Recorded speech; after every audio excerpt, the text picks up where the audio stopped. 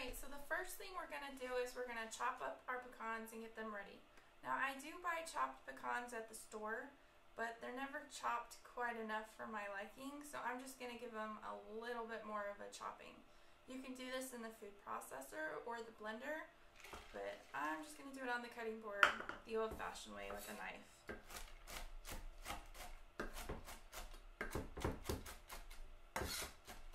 So we're just going to give them a finer, a little bit of a finer texture. If you have the great big pecans, like say this one here, and you try to put that in your pie crust, you go to take a bite of it, you're to have this great big pecan in your mouth. So we're going to just make them a little bit smaller and easier to eat. And it mixes into the crust better too when they're a little bit finer. This is a crust that my mom used to make with her cherry no-bake dessert. We always called it cherry crunch. And she always put pecans in the crust and it was a family favorite recipe. So I've kind of stolen this crust from my mother. Or I guess I should say I've carried the tradition of this crust on from my mom. So we'll just do a little We've got those chopped up a little bit. We're going to go ahead and mix up our basic crust, and it's really only two ingredients. We're going to mix one and a half cups flour. Now you can mix this up with a mixer too, but I just choose to do it by hand because it's so simple. And then we're going to put in 12 tablespoons of melted butter salted butter too. Give it a little bit more flavor with the salted. We're just gonna mix that up.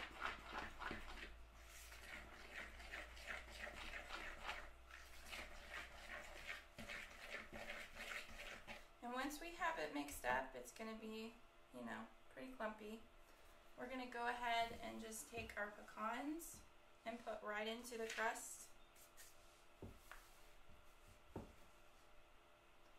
And we're gonna mix it up good. Now I did have, I put this crust in a casserole dish because it's big enough to fit a casserole dish. But I did have an interesting comment from a reader the other day. This is my number one crust on my blog.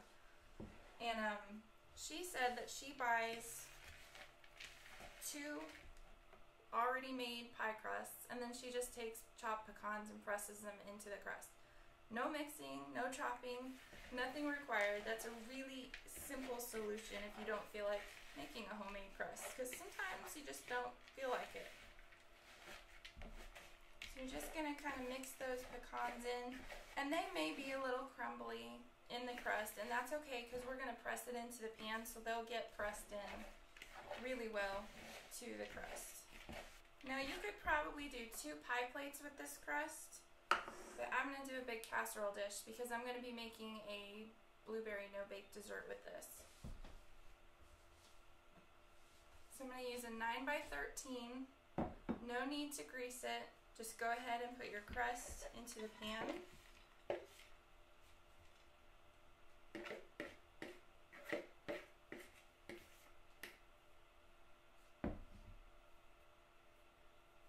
And then you'll just press it in. It's really easy. You go up the sides just a little bit, maybe half an inch to an inch, but mostly it'll be on the bottom of the pan. But I usually do like to press it up the sides just a little bit, especially when I know I'm going to put a creamy no-bake filling inside of it.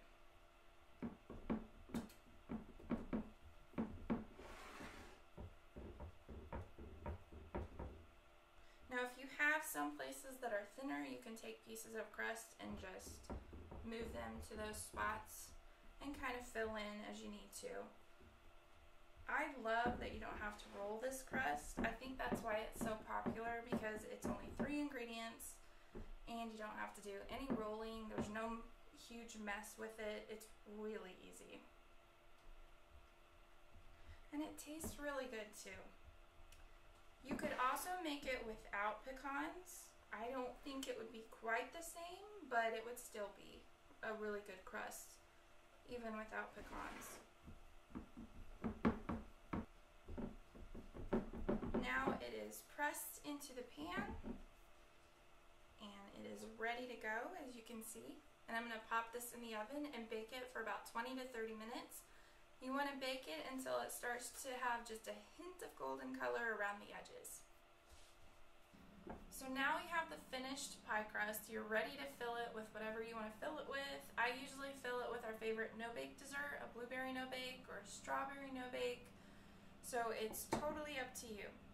If you are making this with a regular pie where you're going to cook the filling, then you can wait and cook the crust with the pie filling. But now I'm ready to fill this with my favorite blueberry dessert.